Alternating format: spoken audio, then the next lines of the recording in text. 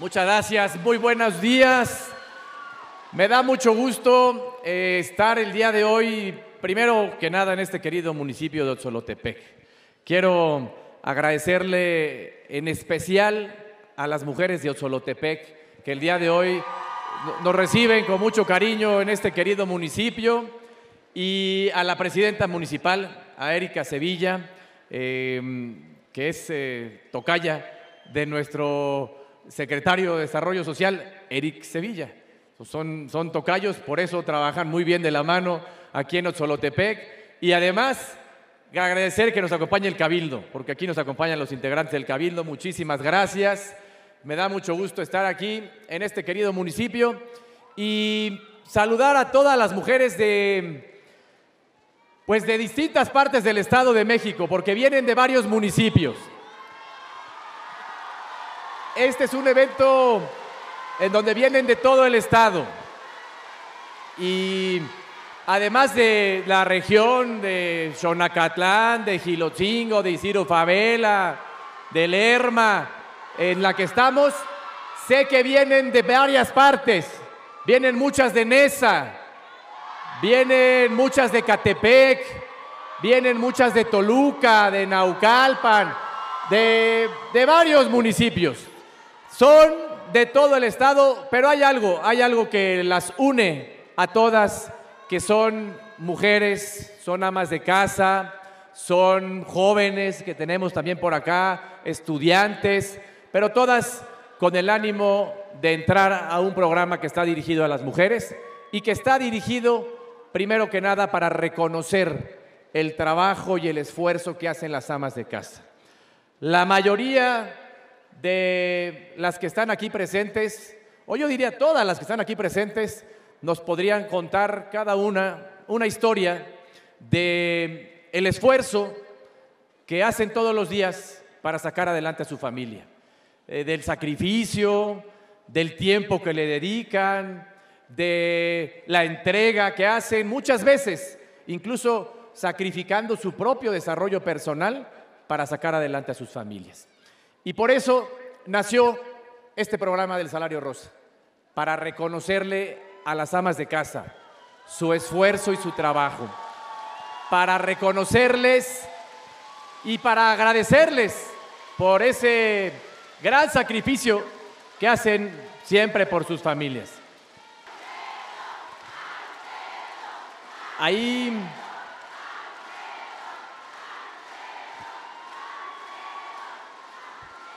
Ahí vimos algunas historias, pero aquí seguramente, si le pregunto a cada una de ustedes, vemos una nueva historia, una historia más de ese esfuerzo que hacen todos los días las amas de casa.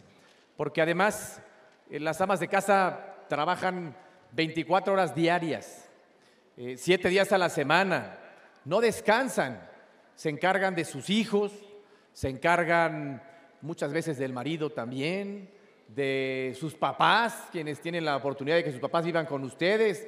Todos los días están pendientes de su familia y lo hacen las 24 horas del día, los 7 días de la semana. Ese trabajo, ese esfuerzo que hacen como amas de casa, ese sacrificio, normalmente no se les reconoce o se les agradece lo suficiente. Y por eso, lo primero que yo quiero hacer el día de hoy es darle las gracias. Muchas gracias a las amas de casa. Muchas gracias, porque gracias a ustedes las familias pueden salir adelante. Gracias a su apoyo es que la familia puede salir adelante. Y por eso, por eso nació el programa del Salario Rosa, para apoyar a las amas de casa. Y además, hoy quiero mencionar que pues este programa está dirigido a las mujeres, pero hay algunos casos especiales que quiero mencionar. Uno de los programas o uno de los apoyos más importantes que tiene el Salario Rosa es el apoyo a la discapacidad. Aquí tenemos varias mamás que tienen algún hijo o algún familiar con discapacidad. Y sabemos que de por sí el ama de casa hace un gran esfuerzo, pero cuando tiene algún familiar con discapacidad, pues los gastos se incrementan.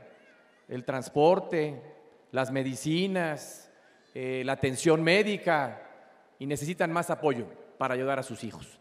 Y por eso hoy una parte importante de este programa está dirigido a apoyar a las familias que tienen alguna, algún familiar con discapacidad.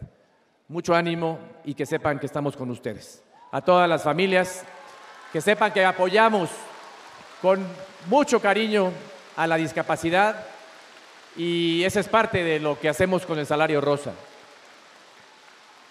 Y así como lo hacemos con la discapacidad, también quiero mencionar una parte importante que va con el programa de Salario Rosa y varias beneficiarias del Salario Rosa han tenido que luchar para vencer algunas enfermedades como el cáncer.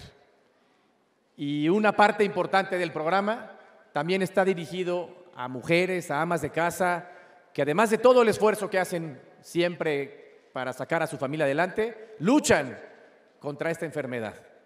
Y hoy aquí entregamos algunos y queremos reconocer a las grandes luchadoras y guerreras que están todos los días luchando contra esta enfermedad. Muchas felicidades a Celia y a todas las mujeres que como ella luchan para sacar adelante esta enfermedad y que sepan que con el salario rosa les vamos a estar apoyando.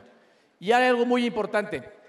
Eh, ustedes saben que hay una enfermedad en particular que es el cáncer de mama, que es una enfermedad que puede afectar a cualquier mujer, pero que si se detecta a tiempo, se puede curar y se puede atender. Si se detecta ya en una etapa pues más tarde, luego es más complicado que se pueda curar. Y por eso queremos invitarlas a todas ustedes a que se hagan los exámenes de mastografía y la autoexploración de manera frecuente. Por lo pronto, quienes tengan la tarjeta de salario rosa, queremos invitarlas a todas a que se hagan una mastografía gratuita en su centro de salud para poder prevenir este tipo de enfermedades. Y ese es parte de los beneficios que también estamos dando con la tarjeta del salario rosa.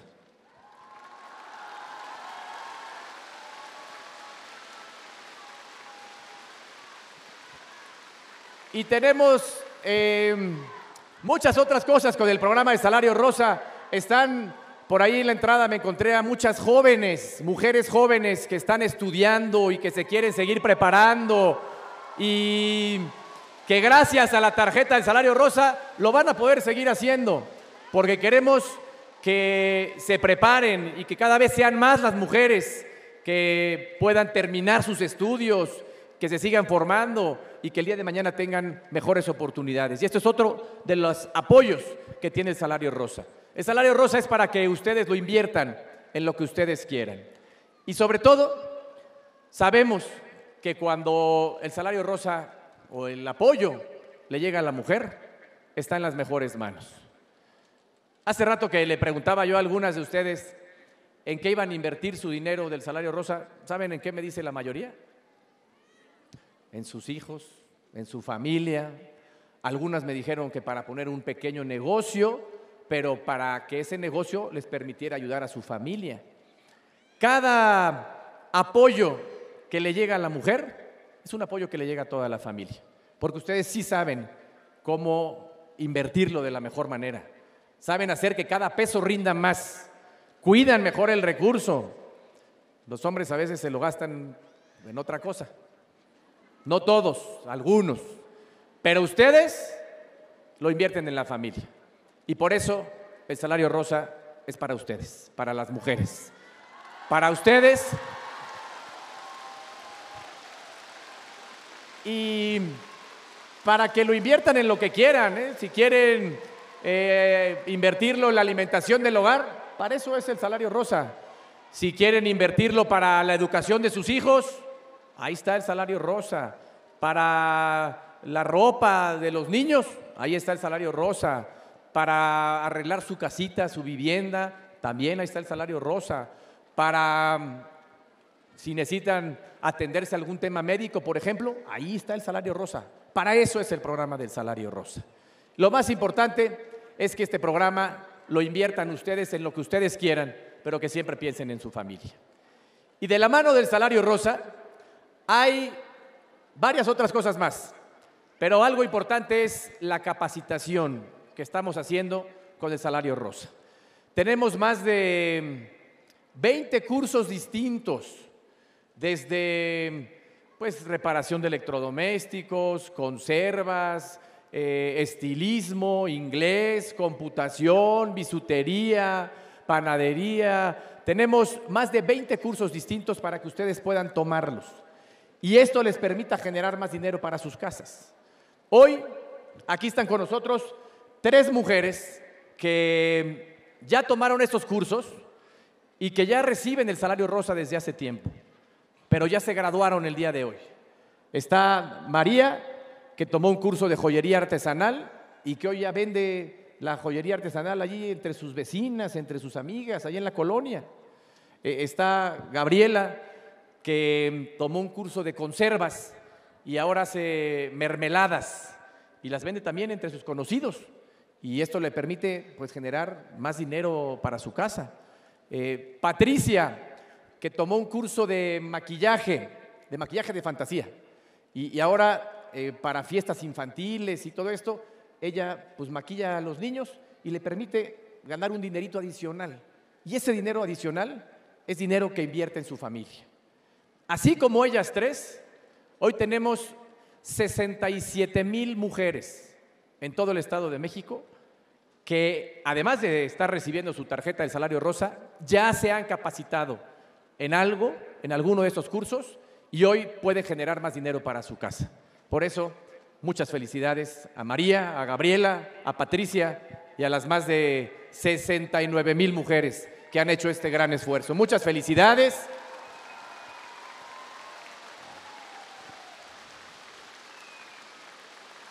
Y las invitamos a todas a que se acerquen a tomar estos cursos, porque además son gratuitos, son cursos gratuitos y les permite generar más dinero para su casa.